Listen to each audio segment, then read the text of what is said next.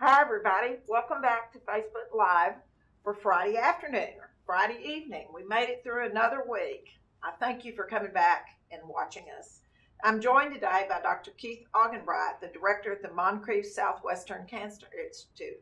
Welcome, Keith. Thank you, Mayor Glad Price. to have you with us. Dr. Argenbright has been a key advisor for me during this entire time, particularly on testing and setting up what that might look like. So, we're going to talk a little bit about testing and why it's so critical and where we stand in just a few minutes. But as we always do, I want to give you an update on today's cases. Tarrant County today has 1,178 positive cases, 35 fatalities, and 187 recovered cases. Fort Worth has 466 positive cases and 20 fatalities.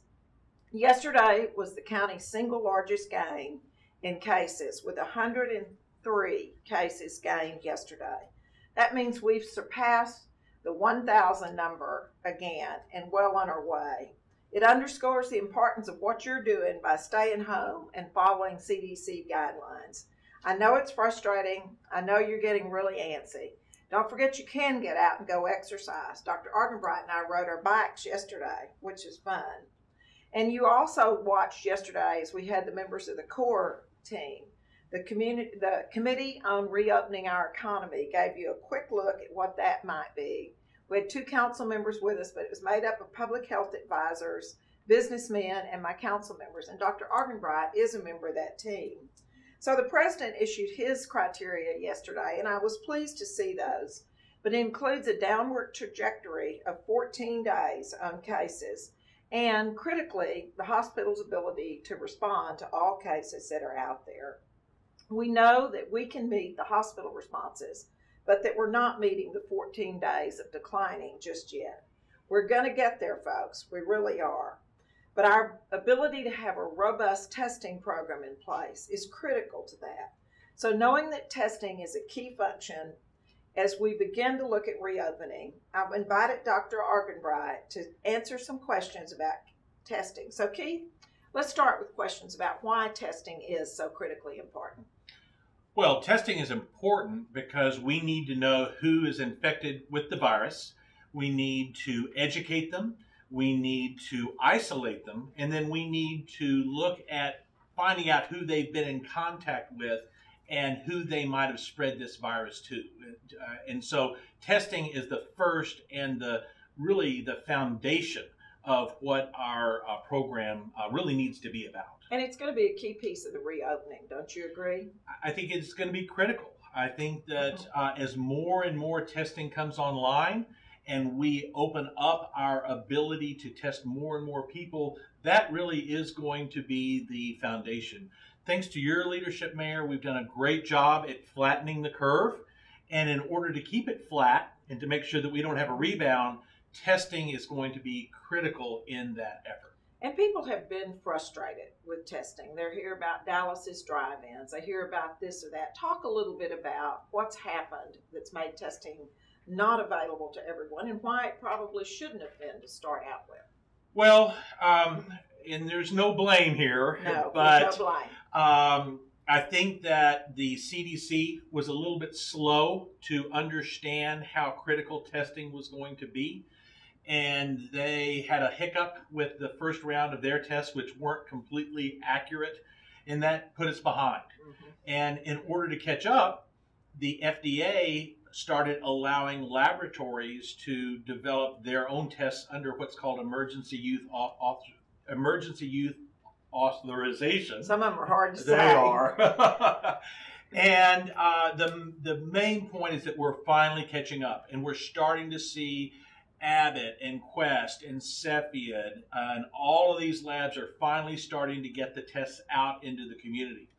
The next hurdle will be actually getting people to get the test.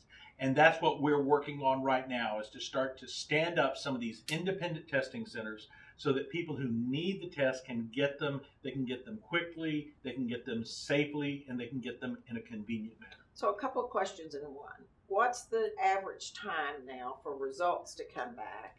And the other one was, will we maintain criteria as to who can be tested? I'm going to answer the second one first. Okay. okay? We really need to test symptomatic people. You need to have some symptoms. It's a tricky virus, and we're finding more and more that sometimes the symptoms are a little bit vague. But what we don't yet know is really how to test somebody and how accurate the test is if you don't have any symptoms at all. So, our testing is going to be symptom based testing. How quickly can you get the results back? The centers that we plan to stand up in various parts of the city and the county, we're expecting a 48 hour turnaround on those particular tests. That's great. And there's a lot of talk out there, and many of you are asking about antibody testing. And exactly how does that differ from the test that we're using currently, and what does it mean?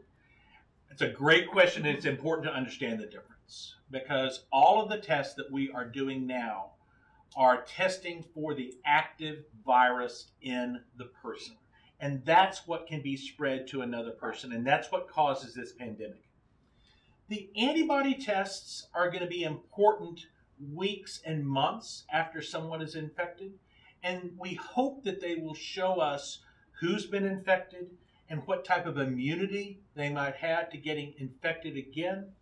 But right now, we are still trying to figure out how those antibody tests have a clinical application because right now we're still getting trying to get that figured out. And there's a lot of talk about them right now. So I think people need to just understand that there's nothing easy about these testing questions, nor about the supply, and that we are working on it. A lot of bright minds are working on this. And there's nothing easy about social distancing, No, and there's nothing easy about staying at home and being safe, but that is working. And the tests are the next step, and the tests will work as well. and the test will be critical to reopening. Critical. Very critical. So Keith, thank you. Thank you, Appreciate Mayor. it. This is all great information, invaluable information. There are days testing just runs through my head, and I'm going, I don't know whether I know where we're up or down on testing. But we've got ex- experts like Keith to help us understand that. We appreciate your leadership and what you've volunteered and given to us at the city immensely. Appreciate you, Mayor. So they follow the guidelines. Remember, you're staying home for someone that you love. We've got a new campaign coming out called hashtag Stay Home for Who You Love.